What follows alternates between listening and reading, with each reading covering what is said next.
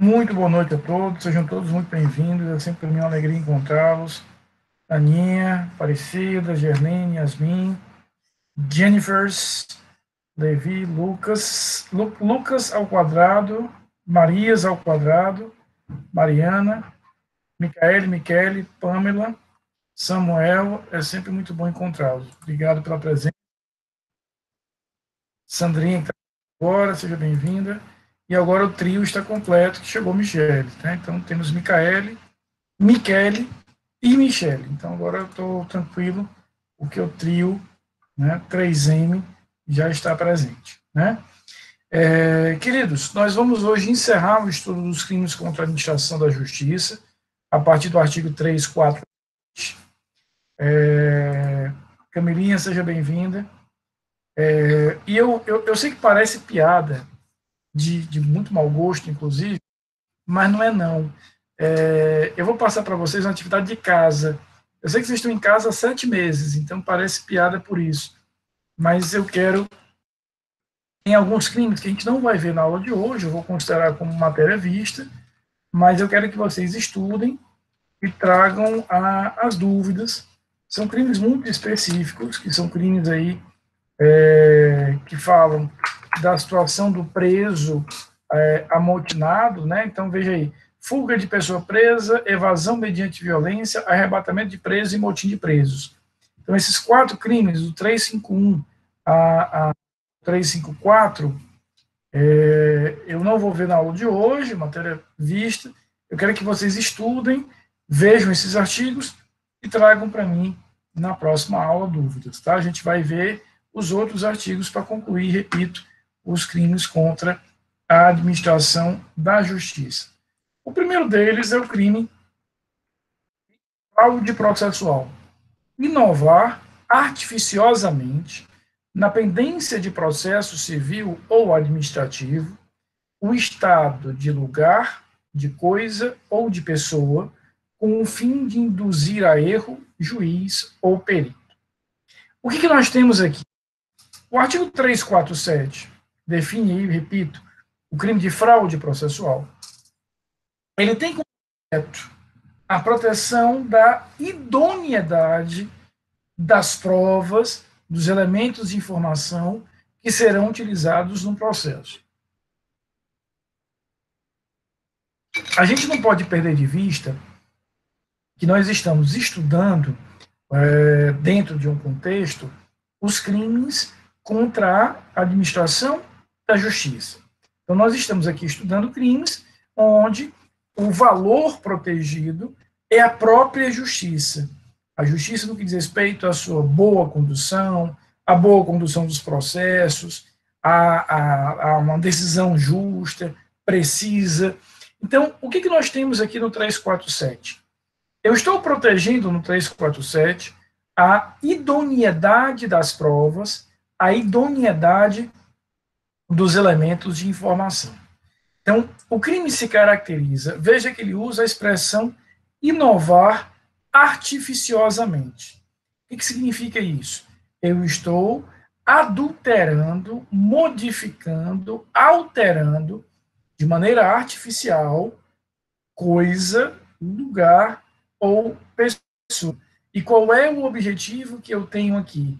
O objetivo é prejudicar, atrapalhar a apreciação que o juiz fará daquela determinada prova ou a percepção que o perito fará daquela determinada prova. Então, o que a gente vai ter aqui é a ação do agente deliberadamente voltada para prejudicar, para macular, para ofender essa busca de informações.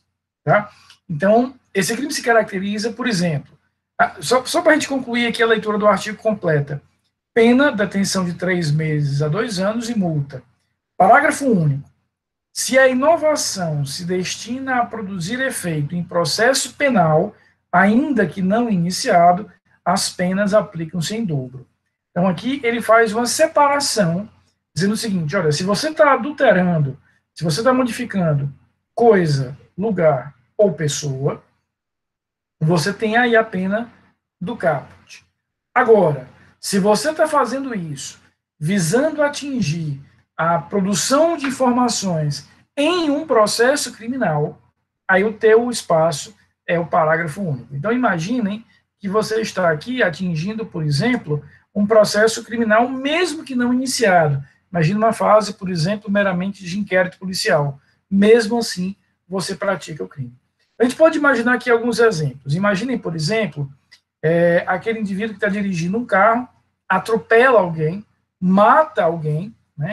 atropela e mata alguém, e ah, ah, leva o carro para uma oficina, manda que seja consertado o carro, aí amanhã, quando for feita uma perícia, uma verificação do carro, uma prova daquele carro, vai aparecer que nunca, parecer que nunca aconteceu nada, que aquilo ali nunca produziu nenhum tipo de dano a quem quer que seja. Então, veja, eu estou dolosamente modificando aquela coisa, alterando aquela coisa, para prejudicar, por exemplo, uma eventual que venha a ser feita, para prejudicar uma eventual prova que venha a ser produzida. Obviamente, todos vocês devem se lembrar, já tem uns bons anos, mais de 10 anos, é, mas vocês todos vão se lembrar daquela tragédia, de crime terrível, é, que foi o crime da Isabela Nardoni, né, que o pai e a madrasta foram condenados pelo crime de homicídio da pequena Isabela. Né? É, eu não sei se você, se, com certeza do caso, vocês se recordam, mas tem alguns detalhes ali interessantes. Eles foram condenados, vejam só, por homicídio, por homicídio, e por fraude processual. Ambos foram condenados pelo crime aí do artigo 347. Por quê? Com tese de defesa, eles apresentaram a ideia de que é, haveria uma terceira pessoa no, na casa. Não sei se vocês se recordam disso. Então, a tese de defesa que eles apresentaram foi de que uma pessoa teria entrado no apartamento e teria jogado a pequena Isabela é, é, pela janela. Isso depois a perícia não apenas é, comprova que não houve isso, como comprova que eles adulteraram o local do crime para tentar criar a ideia de que um terceiro teria ali ingressado. Então, eles vão comprovar, através de meios de prova, que eles adulteraram aquele local do crime. No momento que eu faço isso, qual é o objetivo?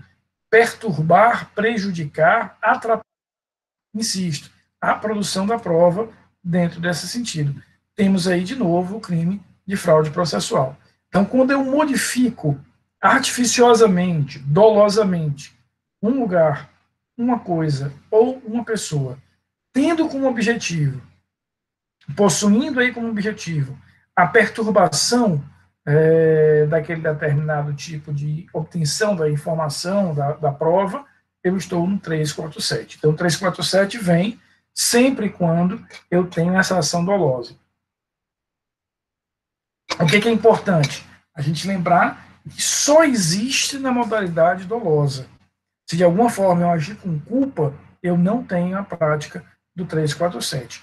E muito cuidado aí com a separação que ele faz dos processos do caput para o parágrafo único. Então, a pena será dobrada, eu tenho uma pena multiplicada por dois, quando aquela prova tem como foco, tem como objetivo a produção da prova no âmbito do processo criminal. Tá bom? Nós vamos agora ver dois crimes, os próximos dois crimes, eles, eles dialogam entre si, eles colaboram é, e há um ponto de contato entre si.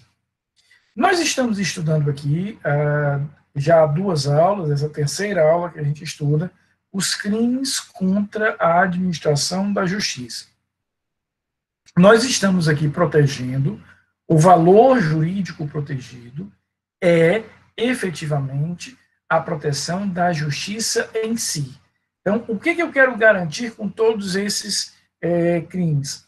Que a justiça seja bem desenvolvida, que a justiça seja bem aplicada, que a justiça consiga, veja só, alcançar aquelas pessoas que efetivamente merecem ser alcançadas pela justiça.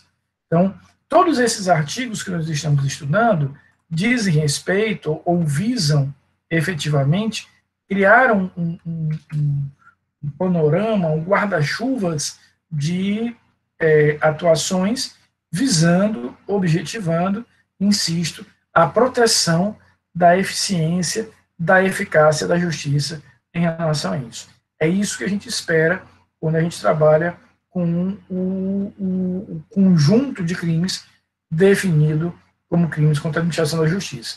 Então, a gente já viu aqui crimes que protegem a prova, a gente falou de falso testemunho semana, na aula passada, falamos da fraude processual agora, crimes que protegem a eficiência da decisão, a gente falou aqui, por exemplo, do crime de reingresso de estrangeiro expulso, e por aí vai. Agora, os dois crimes que nós vamos ver agora são crimes que protegem a eficiência, a eficácia da atuação da justiça, de forma que garanta que a justiça vai alcançar, vai atingir as pessoas que ela precisa atingir. O primeiro deles é o crime de favorecimento pessoal, artigo 348. Auxiliar a subtrair-se a ação de autoridade pública, autor de crime, a que é combinada pena de reclusão. Então, eu estou aqui, efetivamente, auxiliando a alguém se eximir, fugir, não ser alcançado pela justiça criminal. Então, veja o nome do crime: favorecimento pessoal. Eu estou favorecendo a pessoa que eventualmente teria praticado um crime. Como é que eu começo, como é que eu pratico esse crime? Ora, eu permito que aquela pessoa fique na minha casa, porque eu sei que ela está sendo procurada pela polícia. Eu dou a ela meu carro para que ela fuja, dou a ela dinheiro, compro uma passagem para que ela possa fugir, empresto um sítio que eu tenho no interior para que ela fique lá refugiada e não seja encontrada pela polícia. Tudo isso são formas de prática do 348. Aqui eu queria destacar com vocês um detalhe muito interessante. Eu já falei para vocês isso em outras aulas, provavelmente falarei mais à frente é, outras vezes. O legislador criminal, o legislador penal, aqui estou falando especificamente de direito material penal, ele tem uma, uma preocupação. Ao mesmo tempo que ele quer tipificar condutas, ao mesmo tempo que ele quer proteger a sociedade, ele quer usar uma linguagem que seja uma linguagem acessível à sociedade, ao povo. Ele tem que usar uma linguagem acessível.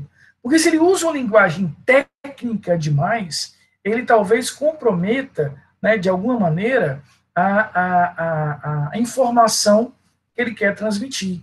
Então, ele não vai usar necessariamente uma linguagem técnica. O 348 e o 349, que a gente vai ver a seguir, são exemplos disso. Veja que ele fala aqui em autor de crime. Pelo princípio da presunção de inocência ou da não culpabilidade, a gente vai estudar esse princípio melhor lá no processo penal, é, espero vocês em processo penal, a gente vai perceber que eu só posso declarar como culpado, eu só posso declarar que o indivíduo é criminoso, eu só posso declarar que houve crime quando eu tiver uma decisão penal condenatória transitada em julgado. Então, somente quando há trânsito em julgado daquela determinada sentença criminal condenatória é que eu posso falar que houve crime, que fulano é criminoso, somente aí eu tenho a possibilidade de fazer isso. Então, aqui o que o legislador. Isso, isso é tão interessante que, se você analisar, por exemplo, o direito romano, o direito romano ele, ele trabalhava com, com duas expressões diferentes. Ele falava em delictum e crimen. O que era o crime? Era o delictum comprovado. Então, enquanto eu estivesse falando em tese, em crime em tese, fulano é acusado de talvez ter terminado, praticado um crime, eu estava trabalhando com delictum. Na hora que eu comprovava que, de fato, ele realizou aquele ato, aí eu falaria em crime. Então, a rigor, pela estrutura do direito constitucional, a gente só vai falar em crime, em criminoso, em culpado, em condenado, quando houver o trânsito em julgado daquela sentença condenatória. Porém, veja que aqui no 348 ele fala em auxiliar a subtrair-se a ação de autoridade pública autor de crime. Aqui ele propositadamente usa uma linguagem que nós não podemos interpretar de forma exclusivamente técnica. Porque se eu for rigoroso na técnica da interpretação do artigo 348, eu vou ter que deduzir o seguinte: eu só posso considerar que eu pratiquei o crime de favorecimento pessoal se e somente se o indivíduo tiver sido condenado definitivamente. E não tem razão, não tem lógica, não tem razoabilidade uma interpretação dessa forma. Então, entenda um autor de crime, como ele define aqui no 348, como autor de um fato definido como crime aquele que está sendo investigado, aquele que está sendo acusado, ou seja, eu não preciso ter uma condenação passada em julgado para que eu possa reconhecer a prática do crime. Detalhe importantíssimo do 348. Ele é um crime que só existe na modalidade dolosa. Então, eu não terei crime se eu agir apenas com culpa. Deixa eu te dar um exemplo. É, eu, eu chego para o, o, o, o Samuel e digo o seguinte, Samuel, cara, a polícia está atrás de mim, eu cometi um crime, eu não quero que eles me encontrem, eu posso ficar na tua casa por duas semanas? E o Samuel diz, beleza, pode vir, a rocha, e eu vou para lá. Ele praticou um crime de favorecimento pessoal. Algo importante sobre esse crime e sobre o próximo também. Samuel não tem nenhuma responsabilidade, zero responsabilidade sobre o crime que eventualmente eu pratiquei. Então, o roubo que eu pratiquei, o homicídio que eu pratiquei, o furto, ele não tem nenhuma responsabilidade. Ele não é de nem bem de perto coautor, partícipe, nada disso. Ele o crime de favorecimento pessoal por saber que eu estou ali, né, é, fugindo da atuação da justiça criminal. Agora imagina que eu ligo para o Samuel e digo o seguinte, Samuel, cara, tive um problema aqui em casa, estourou aqui um cano, inundou a casa toda, cara. Eu estou aqui quase que nadando. Eu vou precisar fazer. Uh, boa noite, Vanil, seja bem-vindo, amigo. É, eu vou precisar fazer aqui umas obras, vou precisar fazer aqui umas, umas, uns reparos. Posso ficar na tua casa por duas semanas? Samuel acha estranho a, a conversa, mas deixa que eu fique. Nesse caso, veja, ele não agiu de forma dolosa para garantir ou para proteger a minha atuação de não ser alcançada pela justiça criminal. Então, o artigo 348 só existe na modalidade dolosa. Só há 348 na modalidade dolosa. Uma questão interessante, veja que ele fala aí no final. Autor de crime, aqui é combinada pena de reclusão, pena da detenção de um a seis meses. Agora, se o crime daquela pessoa é um crime punido com detenção, eu vou aplicar aí o parágrafo primeiro. Se ao crime não é combinada a pena de reclusão, pena de 15 dias a 3 meses. Então, eu saio de uma pena de 1 a 6 meses para uma pena de 15 dias a 3 meses, é o que a gente vai ter aí. Uma questão importantíssima, questão importantíssima. É, aqui eu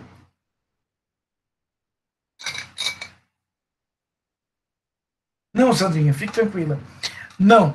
É, se a gente for considerar, Sandra, do ponto de vista do direito constitucional, e mesmo do ponto de vista do direito processual penal, quando, se Deus quiser, eu espero isso, e Deus vai querer, porque Deus é bom, é, você for minha aluna de direito processual penal, é, a gente vai estar lá no processo penal que o conceito pelo princípio da não culpabilidade ou princípio da presunção de inocência é de que eu só posso ser considerado culpado quando eu tiver uma decisão penal condenatória transitada em julgado. É a partir desse momento que a gente vai poder falar em crime, em criminoso e etc. Até o momento do trânsito em julgado, a gente vai falar de crime em tese, fulano sendo acusado e por aí vai. Agora, no sentido que o 348 dá, a gente não pode ser tão rigoroso nessa interpretação. A gente vai ter efetivamente que interpretar de uma forma mais ampla. Então, quando ele fala aí em autor do, de crime, entenda, Sandra, como aquele que é só investigado, aquele que é só acusado, aquele que foi condenado, mas não houve ainda o trânsito em julgado, tudo isso entrará no conceito do 348. Tá? Aqui o legislador, de propósito, usa é, uma linguagem mais direta. Porque imaginem só se o legislador penal quisesse ser rigorosamente técnico. Ele teria que dizer é, é, auxiliar a subtrair-se a ação de autoridade pública, investigado, acusado, processado, condenado dano definitivo, condenado definitivo. Olha a quantidade de expressões que ele teria que usar se ele quisesse de fato ser rigorosamente técnico. Ele disse: não, não vou usar nada disso, vou usar uma fórmula geral, vou usar uma fórmula mais abrangente, que dizer: olha, autor de crime no sentido mais lato.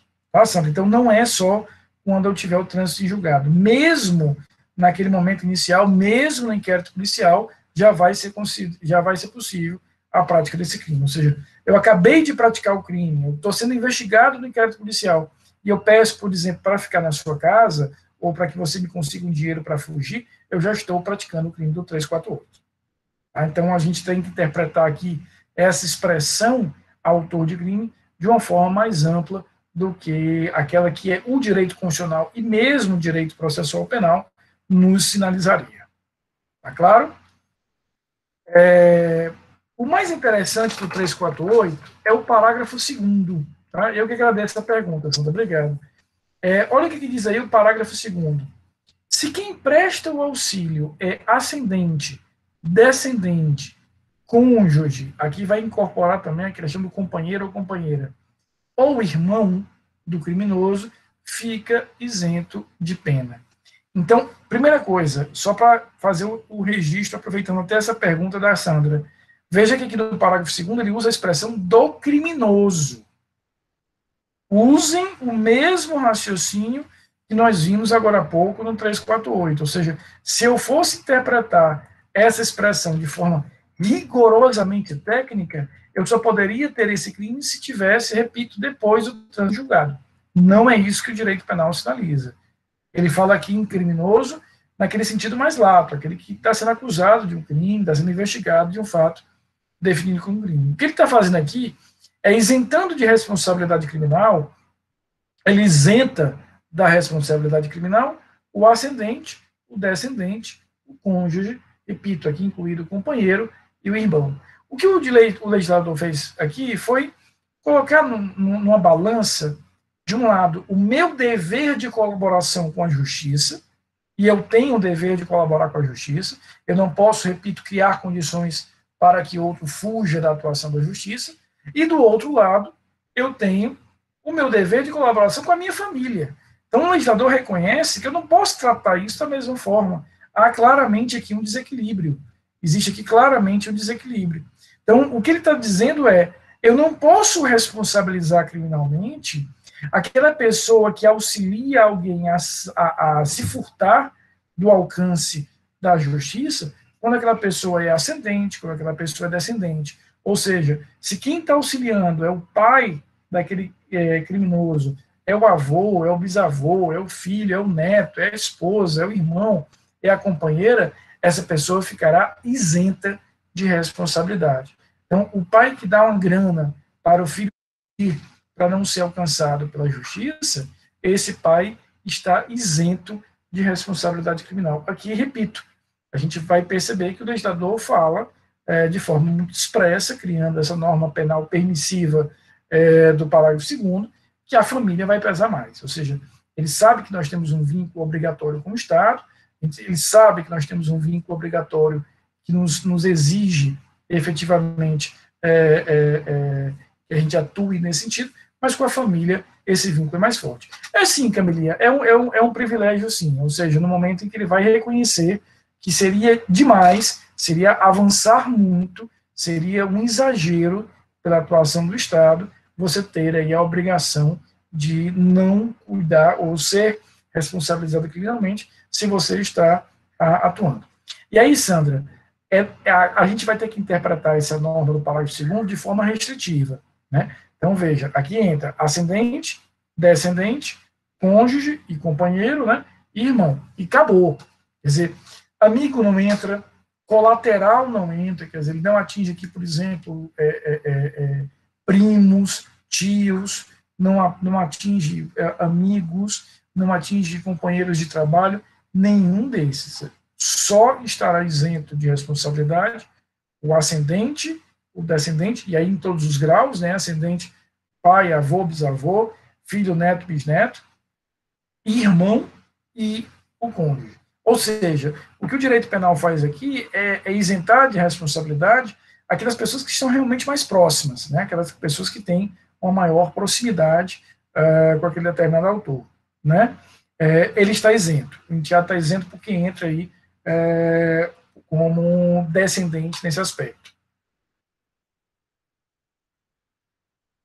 Nesse caso, sim, mesmo raciocínio para madrasto e padrasto também será considerado como ascendente para esses efeitos, tá? Porque aqui, Sandra, a pergunta é muito legal, a gente tem sempre que entender o seguinte, nós precisamos fazer, nesse tipo de norma, uma interpretação em bona parte, né?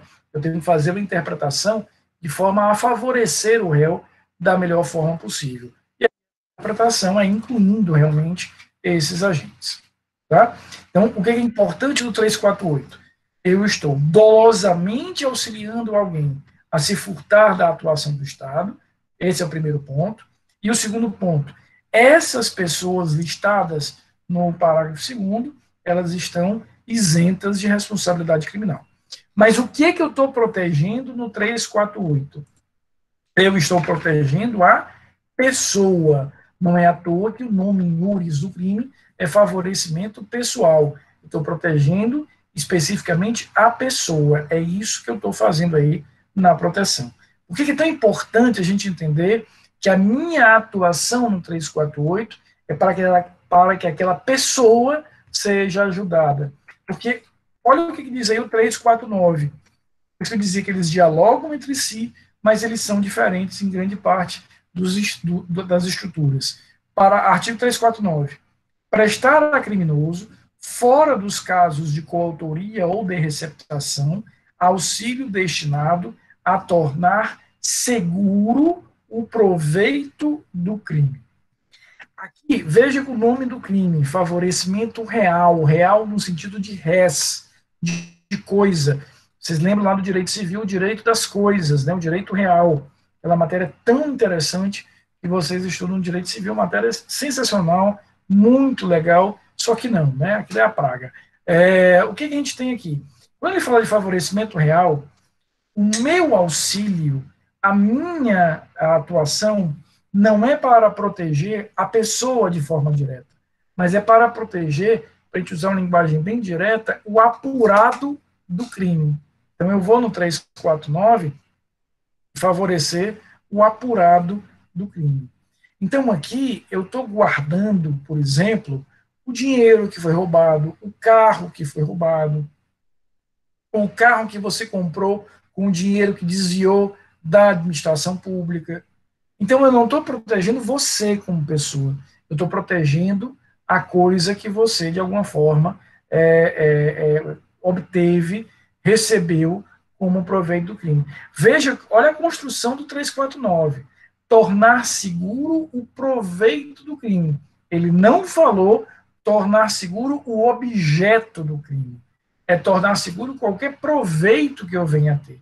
Então, eu, de alguma forma, é, me apropriei de dinheiro público e comprei um carro. E aí eu peço para você guardar esse carro por enquanto. Veja, não é um objeto do crime, mas é um proveito do crime. Assim como o artigo anterior, Sandra, só existe a modalidade dolosa. Tá? Só existe a modalidade dolosa. Então imagina o seguinte, eu roubei um carro. Chego para Camila, Camilinha, é o seguinte, eu roubei um carro e a polícia está atrás de mim, estão tentando localizar o carro deixa eu guardar o carro na tua casa por um mês. E a Camila deixa. Veja, eu estou ali protegendo o proveito daquele determinada ação criminosa. Agora, ela tem ciência de que aquilo ali é oriundo de uma prática criminosa. Agora, imagina, Sandra, ainda na tua pergunta, que eu chegue para ela e digo o seguinte, ó oh, Camila, cara, lá em casa estão fazendo uma obra na garagem, eu não consigo deixar meu carro lá. Posso deixar na tua casa? Melina disse, não, Rafa, deixa o tempo que você quiser. Nesse caso, ela não vai ter nenhuma responsabilidade criminal.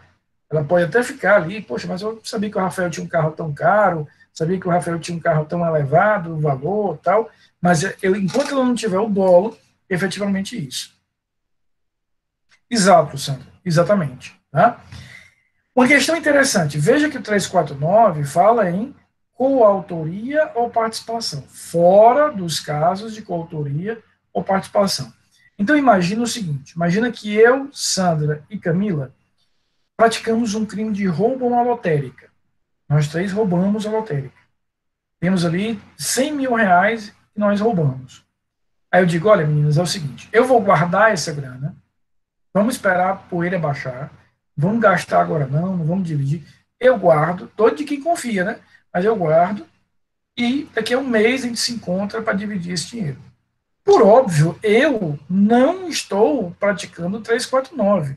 Eu sou coautor do roubo. Então, eu não tenho que falar aqui em 349. Da mesma forma, eu não vou praticar o crime de favorecimento real quando eu pratico o crime de receptação. Imagina que eu compre, por exemplo, um carro que eu sei que é produto de crime, ou eu compre um computador que eu sei que é produto de crime. Eu respondo pelo crime de receptação, lá no artigo 180. Aqui é aquele agente que sabe que aquela coisa é produto de crime, sabe é, é, é, que a gente vai ter efetivamente a, a, a, a, origem criminosa, mas ele sabe que ele não ficará com aquela coisa, ele não está apropriando-se daquela coisa. Naquele caso do Banco Central, Sandra, tiveram alguns casos disso, algumas pessoas que, por exemplo, aceitaram guardar aquela grana, aquele dinheiro. Né? Há, ali foram vários crimes, várias pessoas é, envolvidas. O juiz daquele caso é um grande amigo que eu tenho, Danilo, juiz da 11ª Vara Federal aqui em Fortaleza, ele que esteve à frente daquele caso, eu acabei acompanhando com muita é, cuidado depois, li a sentença dele com muita atenção. Então, ali você tem vários é, é, réus, vários crimes. Mas, dentre eles, alguns responderam pelo 349, pessoas que, por exemplo, guardaram em suas casas o dinheiro, parte do dinheiro, parte daqueles bens que foram ali é, é, é, furtados do Banco Central. Uma questão importante do 349. No 349 não existe, não existe a, a, a, a isenção de responsabilidade que nós vamos ter no 348. Então, aquela ideia de que parentes, ascendente, descendente, cônjuge, irmão, são isentos de pena no 348, isso não existe no 349. É como se o legislador me dissesse o seguinte: olha, pai, olha, irmão, olha, companheiro, olha, filho, eu até aceito e até entendo que você proteja a pessoa, mas eu não entendo que você proteja o bem. Não há justificativa para que você venha a dar guarida a, ao bem, a dar guarida efetivamente a, a, aquela determinada coisa. Então, essa proteção que nós acabamos de ver no parágrafo 2 do 348 fica apenas no 348. Veja que no 349 não há nenhuma menção a um tratamento diferenciado, a um privilégio, a uma isenção de responsabilidade, quando a gente fala aí de, é, é, do crime praticado por um ascendente, descendente, cônjuge ou irmão ele praticará crime do mesmo jeito. Ou seja, o cara roubou um banco, pediu para o pai dele guardar o dinheiro durante um tempo. O pai dele responde pelo 349. Esses dois crimes estão tranquilos? Está tranquilo? Está favorável? Queridos, é, o 350 foi revogado. Como eu falei agora no começo da aula, do 351 ao 354, eu quero que vocês estudem em casa. Né? É, então, do 351 ao 354, eu não vou ver aqui os detalhes com vocês, leiam, estudem esses crimes e me tragam as dúvidas. Eu quero avançar agora para o 355. O 355, ele vai proteger uma relação importantíssima para a justiça. Professor, o 349A, ele sofreu alguma alteração? Não, não, o 349A é muito simples ele foi inserido no âmbito é, de uma reação legislativa, Sandra, a, a, uma série de motins que aconteceram nas penitenciárias de São Paulo durante a época, e veja o que ele diz aí no 349A. Ingressar, promover, intermediar, auxiliar ou facilitar a entrada de aparelho telefônico de comunicação móvel, de rádio ou similar, sem autorização legal no estabelecimento prisional. Ele vai atingir aquelas pessoas que tentam entrar, ou que entram, ou que fazem intermediação para que um celular entre na cadeia, para que um rádio entre na cadeia, para que um tablet entre na cadeia. Ele vai atingir essa pessoa especificamente. Não importa se é um parente do preso, se é um agente público, ele vai atingir esse indivíduo especificamente. Então, é um crime muito simples aí do 349. Ah, é, queridos, o 355 é, é, é, um crime, é uma variante, Silvio. Ele, ah, ah, perdão, filho, porque eu não tinha visto a sua pergunta anterior. É o mesmo crime, ou seja, não me interessa, a pergunta do Silvio é muito interessante, pessoal. É, para o 349, é irrelevante se aquela pessoa está recebendo algum tipo de benefício ou não, o crime já existe, tá certo? Se eu digo, olha, fica aí com a grana, eu, eu furtei aí 100 mil reais, se você guardar essa grana por um mês, eu te dou 2 mil.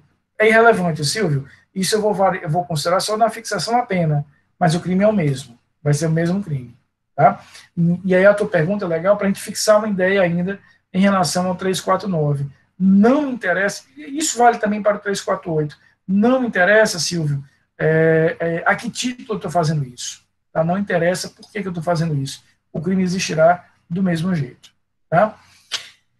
Queridos, é, o 355, ele protege é, uma das relações mais importantes que nós vamos ter na justiça, que é a relação de confiança, de fidúcia entre o advogado e o seu cliente. Então, a relação que você tem com o advogado é uma relação de fidúcia, relação de confiança. Quando você contrata um advogado, tem que existir ali uma confiança mútua muito significativa, uma fidúcia mútua. Por quê? Porque o advogado ele, ele, ele representará um interesse que não é dele. Veja do latim advocare, aquilo que é fala por chamado para falar por, seria a tradução que a gente falaria. Então, quando eu contrato fulano como meu advogado, ele recebe uma procuração minha e ele atuará na defesa dos meus interesses, na defesa, efetivamente, do meu interesse. É dentro dessa perspectiva que a gente vai ter essa atuação do advogado. É sob essa perspectiva que a gente vai ter essa determinada atuação. Então, essa relação entre o advogado e o cliente é uma relação que deve ser pautada por muita confiança, por muita fidúcia. E é exatamente dentro dessa perspectiva que se encaixa o crime que a gente vai ver agora. Então, o crime do 355 é um crime que protege essa relação de confiança. É, e vocês logo, logo estarão advogando, logo, logo terão terminado a graduação, estarão advogando, se Deus quiser, e ele vai, vai querer, que ele é muito bom. É, tome muito cuidado com isso. Essa relação de confiança é uma relação de mão dupla. Eu me lembro de, de um tempo atrás, é, eu, eu, já estou há alguns anos afastado da advocacia, porque meu cargo no tribunal me impede de advogar, mas é, eu, é, eu tive um, um, cliente há uns anos atrás, eu não me recordo exatamente qual era o, o crime que ele estava sendo acusado, eu não me lembro mesmo. Tentei lembrar hoje de manhã, quando eu contei essa história de manhã, mas não me lembrei. Ele era engenheiro na época da Coelce, né, antes da privatização, ou não sei se já estava privatizado, enfim, ele era engenheiro da Enel, acusado de um crime, e eu era advogado dele. Me procurou no escritório, firmamos ali o contrato. É, é, Camila, eu não ia falar, você pode falar, eu não ia falar, que eu já dissolvei, né? É, você é uma prova viva do quanto a gente tem que ter essa relação de fidúcia entre advogado e cliente. Né? Uh, uh, e a, a, a, a gente tinha firmado o contrato, ele pagou os honorários, aquela coisa toda, e o cara todo dia me ligava, todo dia me ligava para perguntar alguma coisa. Doutor, eu falei com o fulano de tal, que é um amigo meu que está estudando direito, ele me disse isso. Doutor, eu, eu conversei com o Cicrano, ele me disse que a gente podia apresentar um habeas corpus. Doutor, não dá para a gente usar isso aqui, não? E eu confesso que eu aguentei isso por uma semana. Quando chegou na segunda semana, ele todo dia tinha uma ligação dizendo isso. Aí um dia ele me liga e diz o seguinte: Doutor Rafael, eu, eu, eu vi no Google, na hora que eu vi, eu vi no Google, eu disse: Não, cara, faça o seguinte, dê um pulinho no escritório, nessa época eu estava com o Tassiano, é, foi no escritório dele. Ele disse, tem um pulinho no, no, no, escritório, eu quero conversar contigo. Quando o cara chegou lá, eu estava com um distrato do nosso contrato e o cheque para devolver para ele dos honorários. Diz, olha, cara, nossa relação termina aqui, não dá. Procura outro cliente, outro advogado, não dá. Não, doutor, não sei o que. Porque, veja só, a gente, você não confia em mim. E você tem o direito de não confiar em mim. Você tem total direito de não confiar em mim. Mas não vai fluir a nossa relação aqui se você não confia em mim. Né? Me deu vontade de dizer, pois leve para a audiência o Google. Né? Chega na audiência, está aqui meu advogado, doutor Google.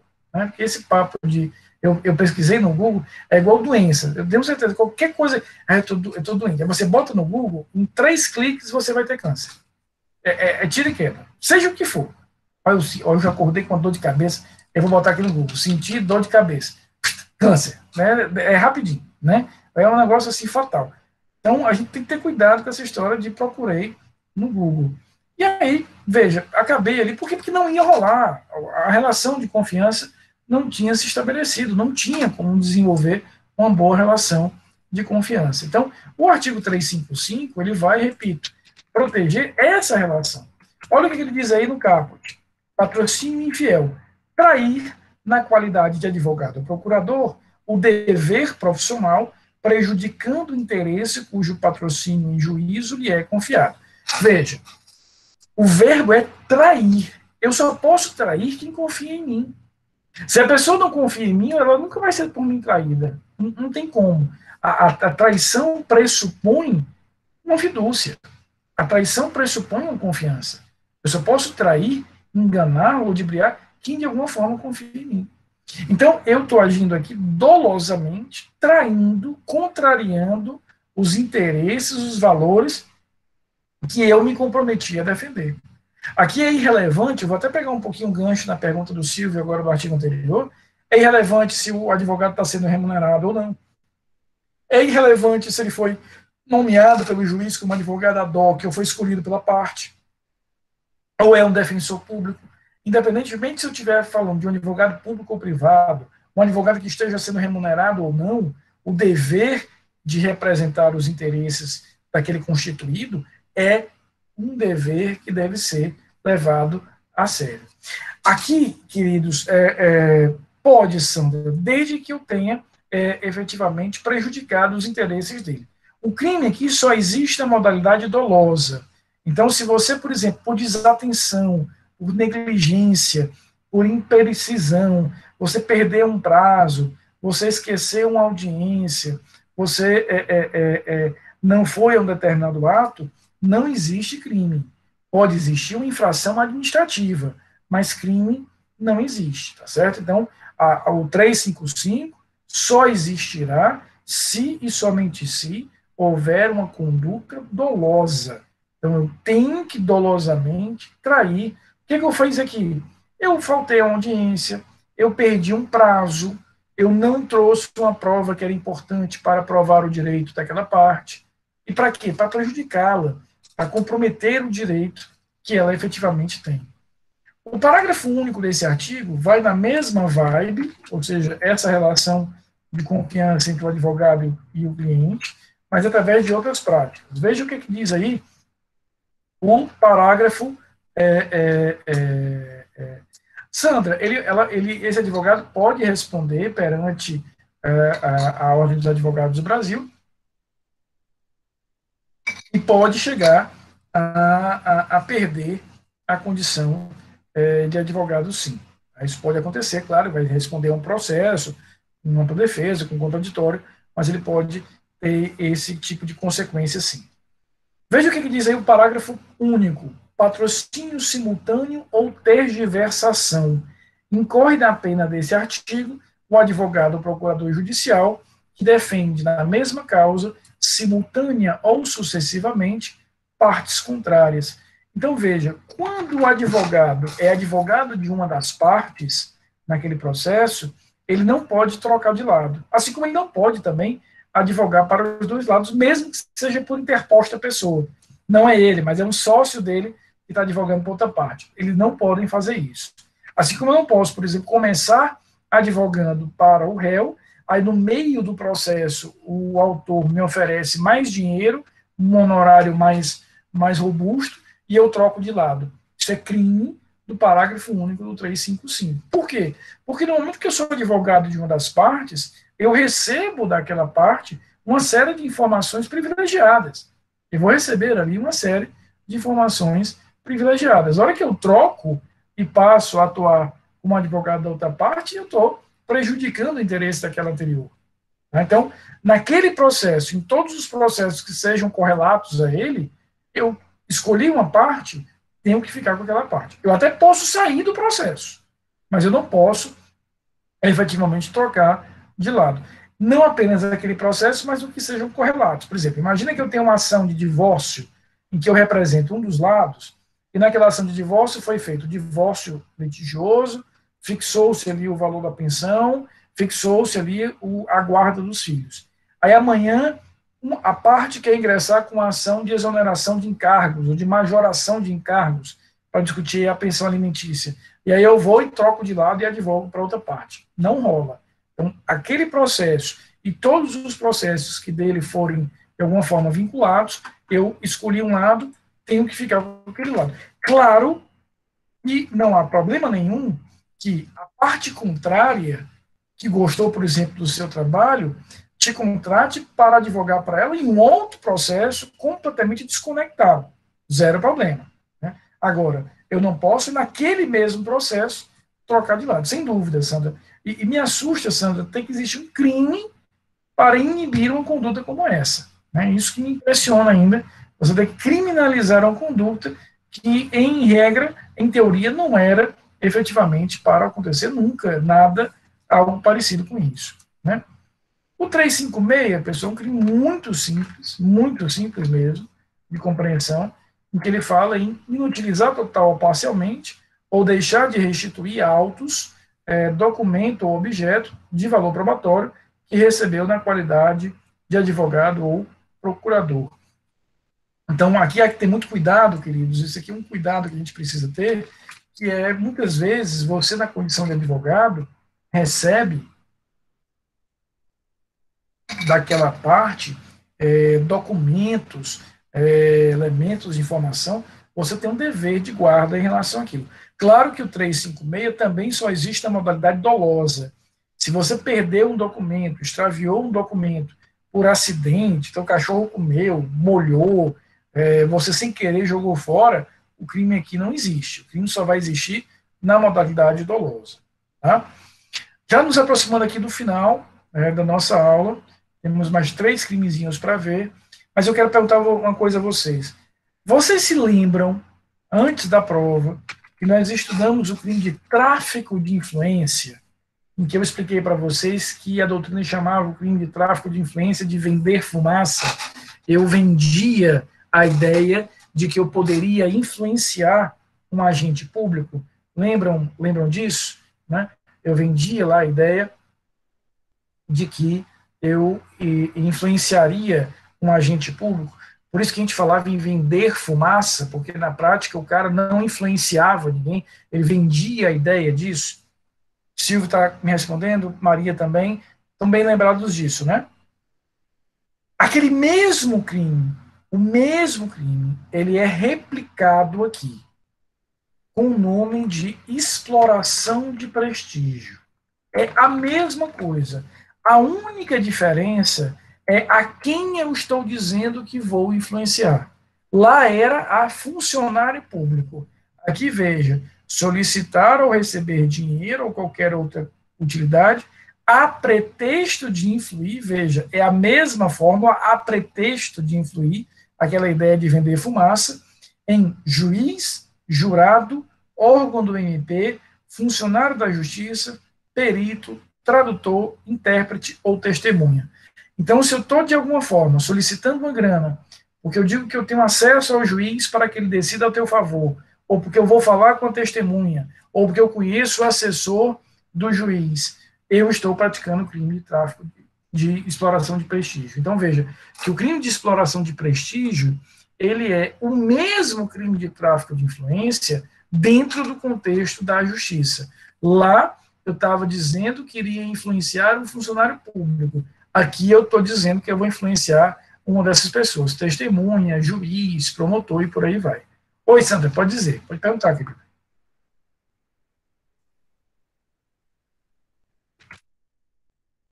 Professor, é, é, com relação ao 356, que quando eu, o senhor passou por 57, o 56, ele ainda tem aquele prazo para a guarda do documento, porque um tempo atrás é, tinha que, pelo menos na contabilidade, né, a gente tem que guardar por 5 a 10 anos alguns documentos. Aqui também vale o mesmo prazo para a contábil? Não, aqui não existe um prazo, Sandra. Aquele prazo contábil, que era dependendo do documento de 5 ou de 10 anos, né? É, isso me lembra, Sandra, é, meu pai tinha, até pouco tempo atrás, é, o coronel, meu pai, tinha todas, todas as declarações de imposto de renda que ele fez na vida. Todas. Depois de muito esforço de convencimento da minha irmã, que é procuradora da Fazenda Nacional, inclusive, quer dizer, mexe com isso, assim como você deve mexer também, ele consegui, conseguimos convencer o coronel de guardar as últimas 15 declarações. Ele não abriu mão nem das últimas 5 ou 10. Ele disse, não, vou ficar pelo menos com as 15. Eu disse, tá, pai, então a rocha. Mas ele tinha todas as declarações. Aí já é exagero. Ele não precisa ter tanto documento contábil fiscal, por isso exatamente que existe aquele limite, que em regra de 5 anos, porque é o prazo de prescrição tributária. Né? Em alguns documentos é que eu precisaria ter durante mais tempo.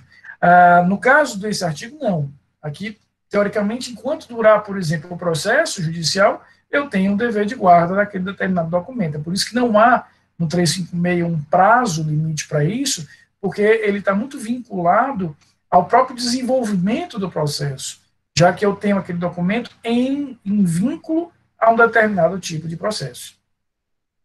Silvio, a pessoa não precisa fazer parte do processo. Um, um exemplo seria o tradutor, intérprete ou testemunha. Né? Basta que tenha algum tipo de atuação em relação a isso. Ainda do 357, a gente vai ter aqui um parágrafo único, idêntico ao parágrafo único do tráfico de influência. As penas aumentam-se de um terço se o agente alega ou insinua o direito ou utilidade também se destina a qualquer das pessoas referidas nesse, artigo.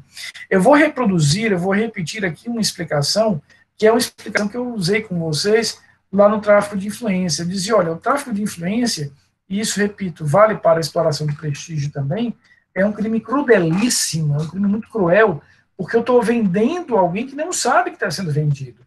Eu estou dizendo para aquela pessoa que eu tenho influência no juiz. Portanto, eu estou vendendo o juiz sem que ele tenha ideia disso. E o parágrafo único é a crueldade ao, contra, ao quadrado.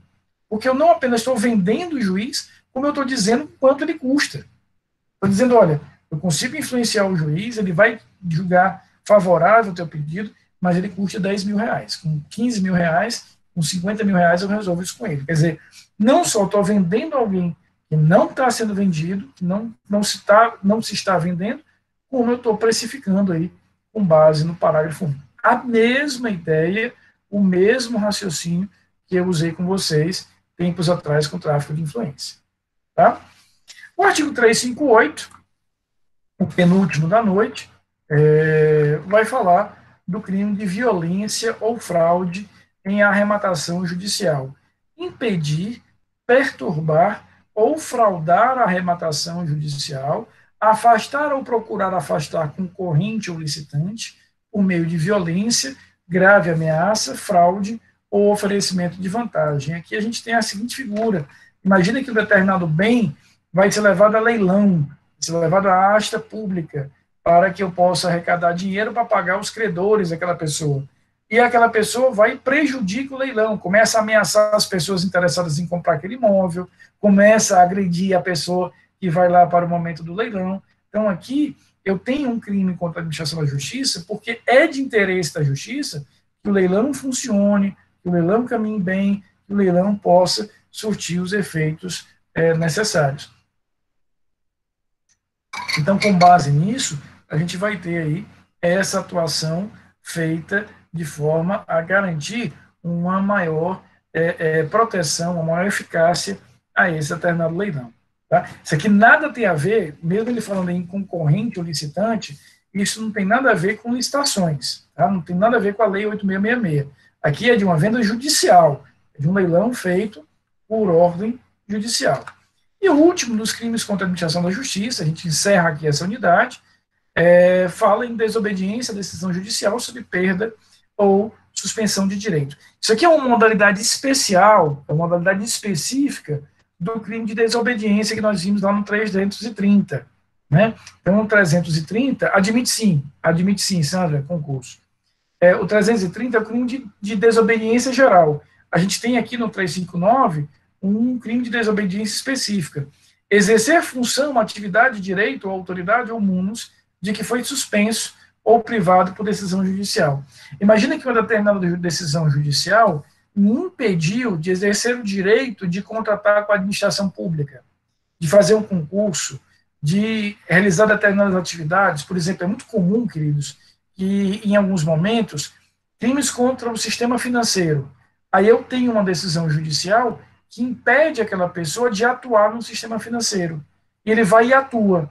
Ele está cometendo o crime do 359. Então, veja, o 359 é uma modalidade especial é uma modalidade específica de, de desobediência, porque lá no 330 a gente tinha uma desobediência geral, uma desobediência mais ampla. Aqui a gente vai falar de uma desobediência específica, que é a desobediência para é, é, é, cumprir ou realizar um ato que eu estava, por decisão judicial, impedido de realizar. Tá? Enquanto vocês pensam aí nas dúvidas, eu vou fazer aqui rapidinho a chamada. Não saiam, não me abandonem por enquanto.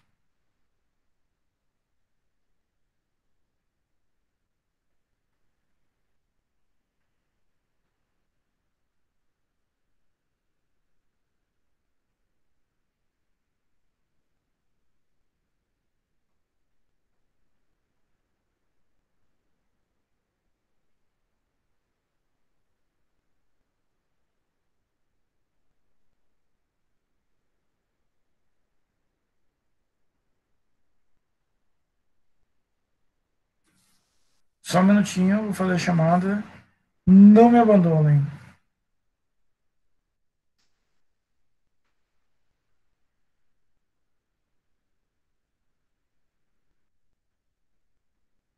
Agradecido, Camilinha. Claro, Maria, só um minutinho. Vou terminar aqui a, a chamada, a gente já volta aí.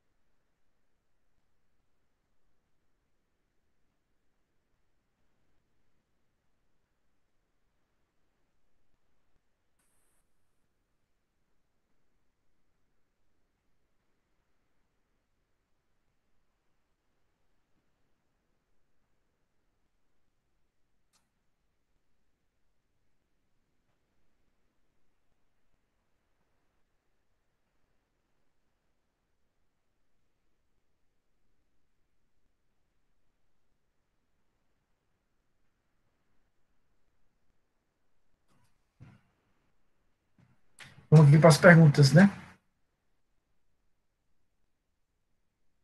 Maria, vamos. O, o 358 é aquele crime em que eu, de alguma forma, perturbo, usando de violência ou de grave ameaça, Maria, uma, uma venda feita judicialmente. Então, imagina, por exemplo, que a gente tenha é, é, é, o, o Estado fazendo. Imagina um processo. Houve um processo de execução, por exemplo.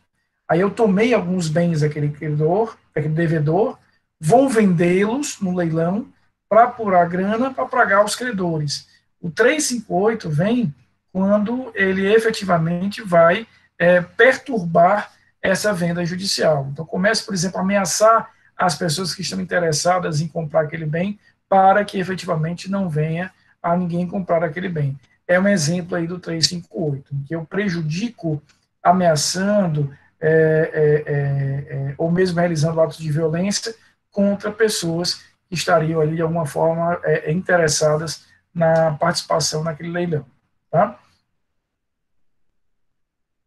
Micael, se ele de fato influenciar, aí ele responde pelo crime de corrupção, que a gente já viu lá atrás, lá no 333. Né? Então, se ele de fato tem essa capacidade, é por isso que o tráfico de influência e a exploração de prestígio, a doutrina explica que a gente está vendendo aí fumaça, né? Está vendendo efetivamente a ideia de que eu estou querendo influenciar, mas na verdade eu não influencio. Se de fato eu faço essa influência, aí eu vou responder pelos crimes de corrupção lá atrás.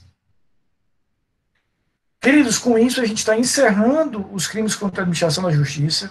Eu não vou ver com vocês os crimes contra finanças públicas. Esses crimes eu não vou ver. São crimes raros, crimes que a gente precisa ter um conhecimento de direito financeiro, de direito é, é, tributário. Eu não vou ver com vocês.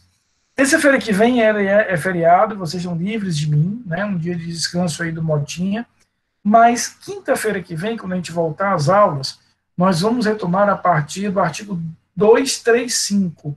Vocês devem se lembrar do nosso primeiro dia de aula, em que eu dizia que a gente ia ver os crimes contra a administração da justiça e os crimes contra a administração pública, começar por eles, que são crimes mais importantes, mais extensos, mais numerosos. E que quando a gente terminasse essas unidades, é, na metade do semestre, a gente voltaria para ver as unidades 1, 2, 3 e 4. Então, a partir da semana que vem, a gente vai voltar, na verdade, a gente viu aqui a unidade 5, a gente vai voltar para ver a 1, a 2, a 3 e a 4. Crimes contra a família, crimes contra a comunidade pública, crimes contra a paz pública e crimes contra a, a, a fé pública. Tudo isso a gente vai voltar a partir da quinta-feira que vem. Então, agora a gente está encerrando hoje os crimes contra a administração da justiça, fazemos o intervalo na próxima terça do feriado. Quando a gente voltar na quinta-feira, a gente volta para o artigo 235, crimes contra a família. Tá bom? Obrigado, Sandrinha. Dia do professor, dia mais importante do ano, né? Semana que vem. Queridos, um beijo grande a vocês, bom feriado. E se Deus quiser, a gente se encontra na próxima quinta-feira, tá? Descansem até quinta-feira, se Deus quiser.